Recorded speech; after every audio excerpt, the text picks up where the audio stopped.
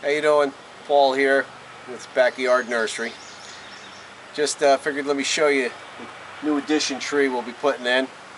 It's a uh, it's called the, it's a Japanese maple, but it's also called the waterfall. And uh, the green leaves get actually beautiful color. And uh, usually Japanese maples, everybody goes for the red.